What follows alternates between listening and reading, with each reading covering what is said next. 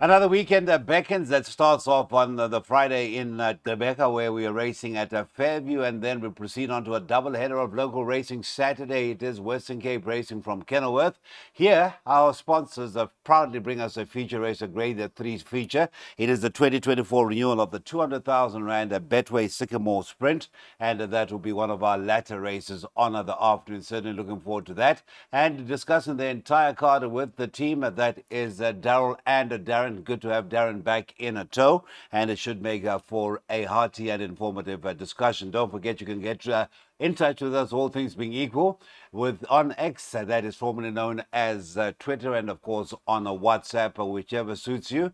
Darren and Daryl will be able to make uh, and uh, respond to your requests. Right, let's get straight in to the meeting. Daryl, a very warm welcome to you. Warm welcome to Darren. We'll be talking to Darren just uh, in a few moments' time. You're going to be giving us a bipot.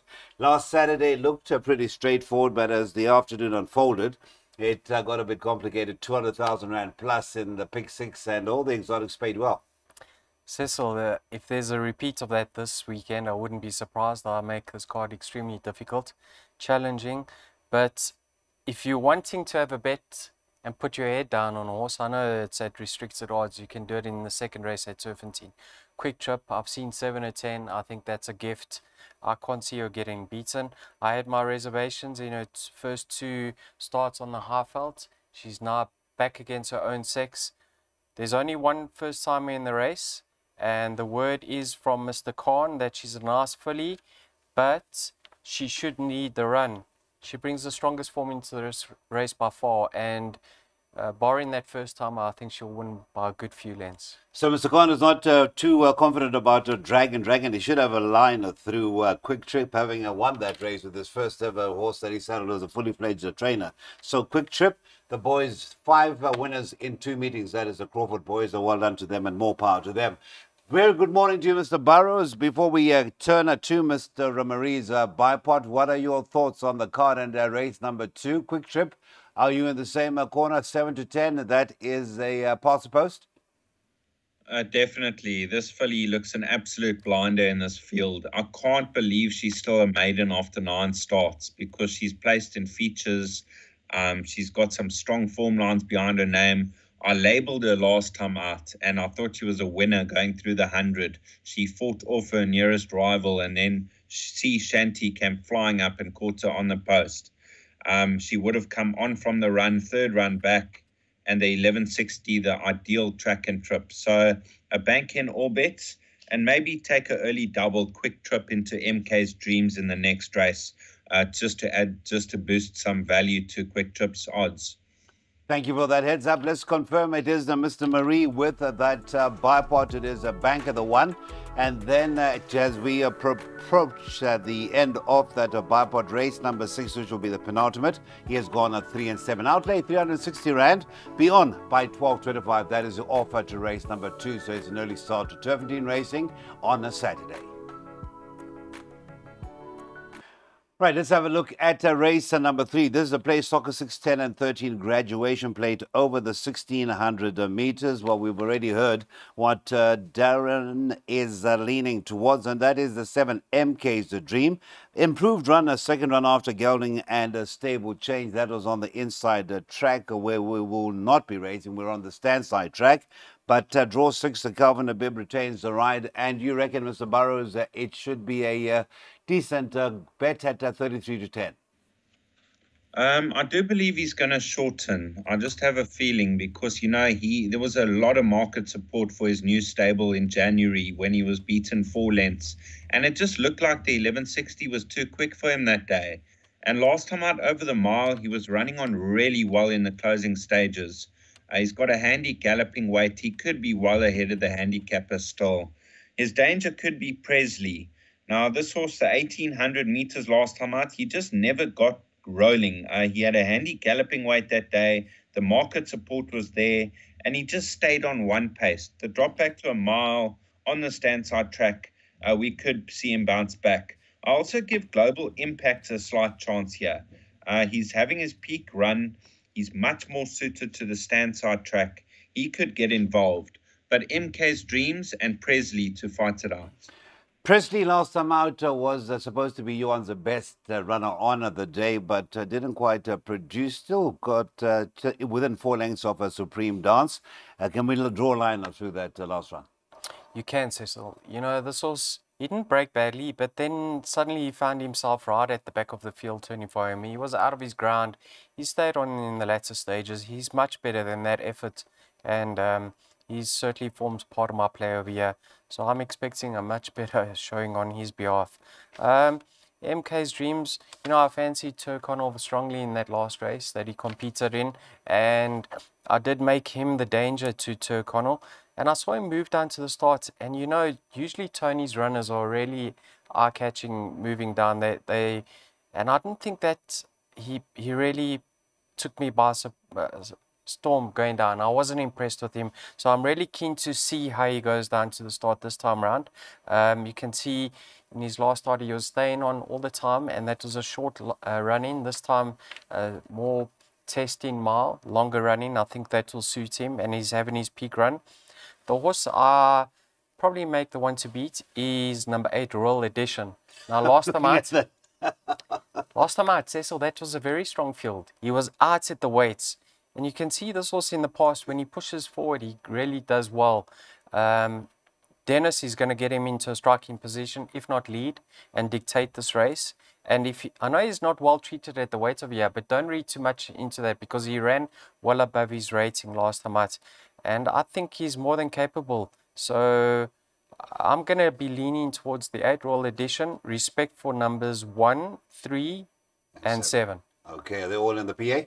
Let's yes. have a look at I'll make it tricky. Now, I've, I've narrowed down to two, numbers three and eight. Three and eight, and I was thinking about you yesterday after the first leg of the bike, but I said I thought I'd learned my lesson from Daryl. You go as wide as you can in those baby races. There it is, that PA three and eight has uh, narrowed down, but uh, you can include numbers of one and a seven, a budget permitting. And then in that penultimate race, uh, race number eight, a two and eight, that would be Cosmic Star, and the eight being Amber Rock. That's the story of the PA. That will be race uh, number three of uh, seven which uh, sees the start of the PA. A very competitive start to the Pick Six. We will not be touching on the Pick Six uh, selections uh, for this race. We've got a trifecta selection from uh, Mr. Marie, but we're going to turn it to Mr. Burrows. It's a pinnacle stakes over the 1400 meters, and unfortunately, the last time we had a similar field assembled, it was Unzen who came out tops. Unfortunately, there's a scratching, but uh, the stable companion for Quantum Theory after that brilliant run behind Melech which uh, later produced uh, the winner of uh, the horse Chestnut, that is main defender, is in the betting, and that is going to be second favorite at 15 to 4. The favorite is a 5 Humdinger, and that is to be part of my inform Van Rensburg for Mike de Kock, 5 to 2, 15 to 4, the 4, Quantum Leap, and then the 10, Give Me a Shot. We just discussed that form line when we were touching on Royal Edition. That is at 9 to 2. Mr. Burrows, a very good start to that uh, pick six. Uh, how would you suggest we negotiate the pick six if you were suggesting one? Well, in this type of race, I would put Bingwa, Quantum Theory, Humdinger, Give Me a Shot, Texas Red, and Savannah Storm. So I would go 2, 4, 5, 10, 11, 12. Now let's touch on Give Me a Shot. She's a fully loaded with ability. She got up to win uh, her first run back on the Highveld, and she's only got 52 kilos to shoulder. You've got Texas Red that just keeps on surprising me because I didn't think he was, I thought he was an average horse at first. And he just keeps on improving. Um, he often throws his race away early where he doesn't focus on the race and then he only gets into it late. But he's got 50 kilos to shoulder and he could get involved. Um, you've got to include Humdinger on that cracking last effort. Quantum Theory's got ability. He's overdue. And Bingwa, uh, also a horse with tons of ability and having his peak run. So it could get tricky. Thank you very much, Mr. Burrows. You're going to give us a trifecta, I think you said, uh, for race number four. Would you include uh, one of your selections from last time? I think you know where I'm going. Number three, Future Pearl. No, definitely not. You've, uh, you're very unforgiving these days. Huh? Cecil, um, I like the look of Texas Red over here. You know, last time out, he was traveling too hard in the running of that race. Uh, they didn't go quick enough for him. Yeah, you got a lot of pace in the race. You got the likes of Humdinger. Even without Unzen, you got Humdinger. You got Forever Man. You got Fire and Flames. So when Texas Red settles in running, since being stepped up to 1400, his form has been ultra consistent, and I think a lot is in his favor, especially the way the race is going to be run. So I'm leaning towards number 12, Texas Red. I do have health respect for Give Me a Shot. Now, last time out, we heard from Adam Marcus heading, I mean, Adam Azzie heading into that race, they weren't that bullish. They were of the opinion that that filly would need it. And she's really a high class filly. So if that run has brought her on, 52 well drawn, I think she's going to be right there. Uh, expected improvement from number nine, Captain Peg. If you have a look at the weight uh, structure of this race, she's actually joint best in with Humdinger. And I think the 1200 on the inside track is a bit too quick for her nowadays. A one draw, I certainly uh, think she could run into the trifecta quartet position. And then you've got obvious claims for Humdinger and one other that I've left out. Um, yeah, so the numbers that I've put in, oh, quantum theory. Yes. He has to go in. You know, they've made a few changes with regards to the equipment, and the track and trip is ideal for him. So 4, 5, 9, 10, and 12 preference for the 12. 4, 5, 9, 10, and the 12. That would be a box trifecta. Yes. Thank you so much. Let's confirm that uh, selection 4, 5, 9, 10, and uh, 12. And uh, we should be off uh, to a, a decent uh, start in uh, the fourth race of the afternoon with that called trifecta possibly coming through. Please be reminded number 8, Unzen, is a scratching off time to that first leg of the pick 6, 20 to 2.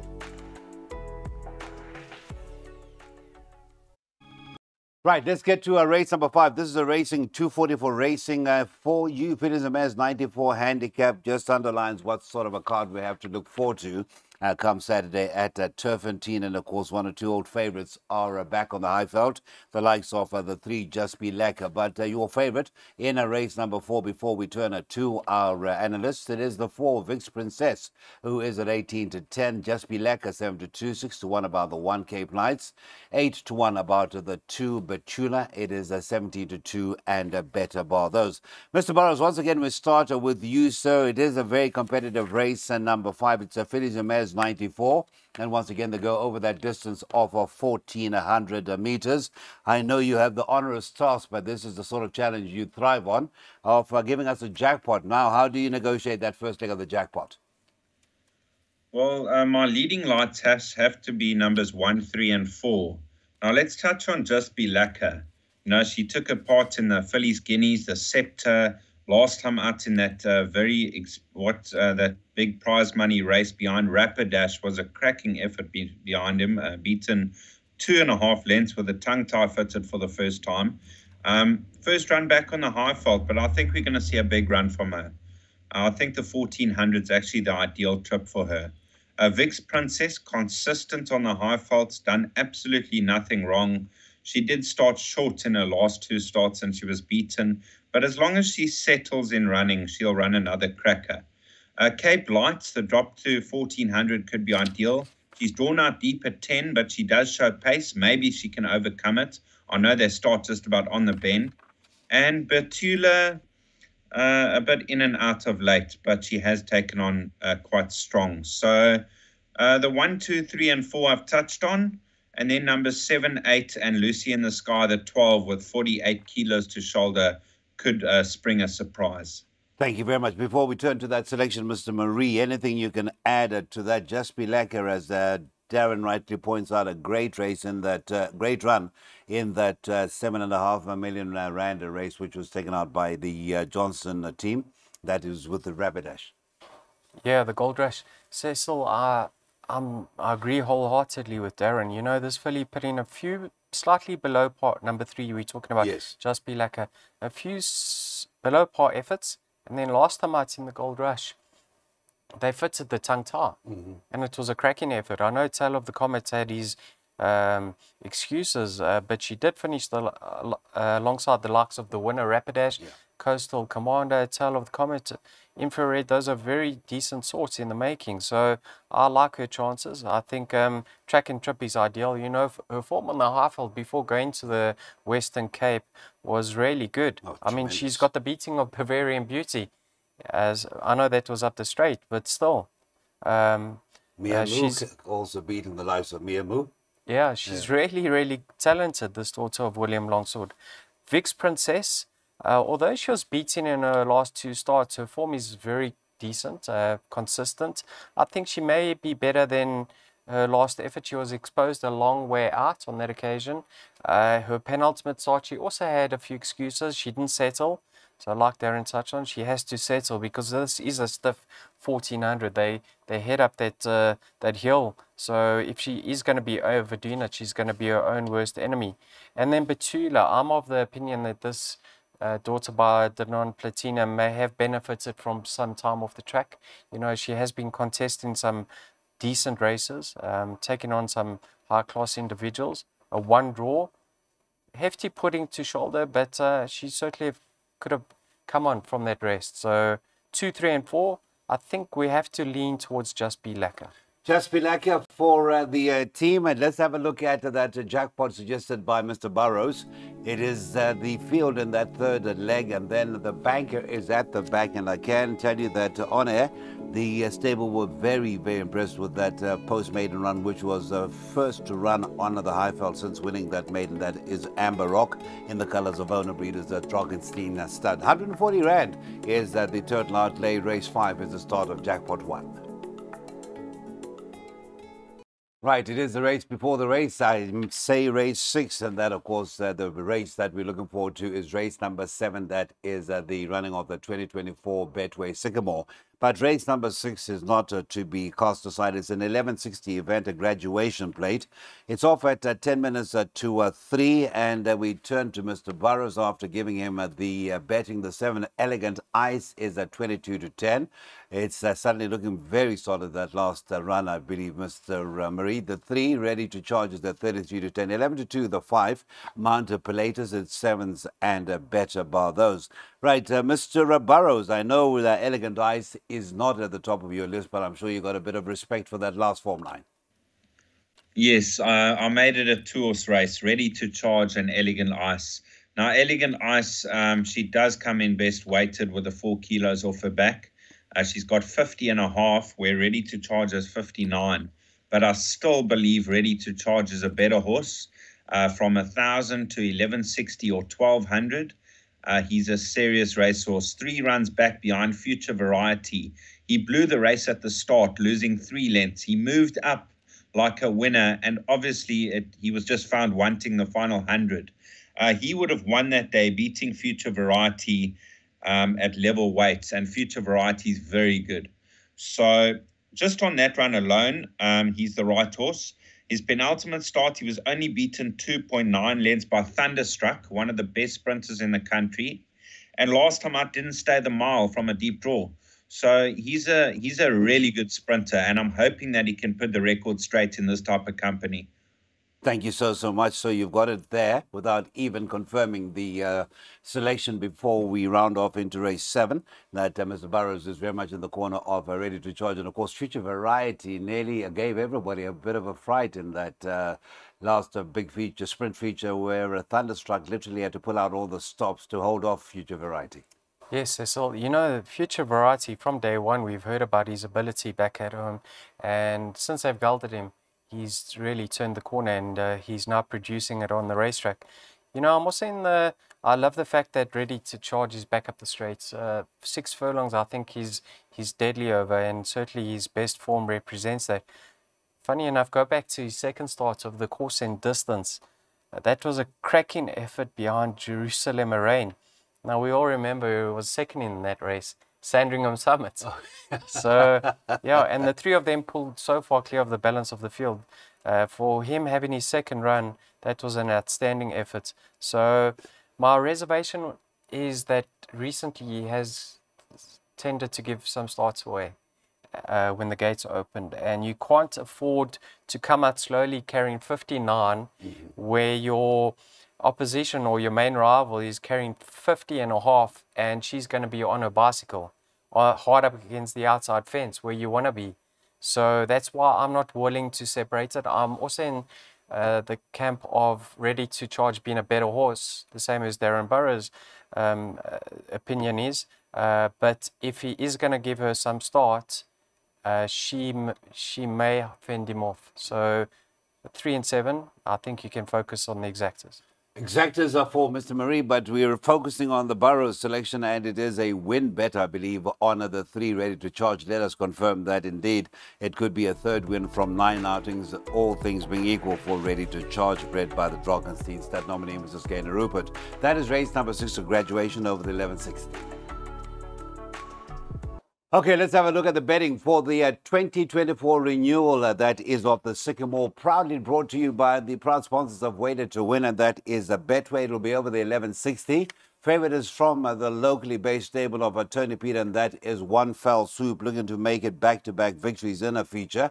It's a regular pilot, uh, Calvin Habib board, and that is a 22 to 10. 26 to 10 is a 2. Mrs. Browning, fives and better, bar those. The three white pearl drops back in trip, and I'm sure as we turn it to Mr. Burrows, uh, we'll hear a bit more detail about the likes of Alula Star and uh, Mrs. Browning. How do you go about? I know you went wide, and I think that is the way that uh, most of us go. But if you had to be put on, uh, on the spot, where would you say the top three will come from? Uh, top three. Well, let's start off with an interesting runner to me. Um, this three-year-old White Pearl. She's never run over a sprinting trip. She's debuted over 1400. She's gone 14 to a mile.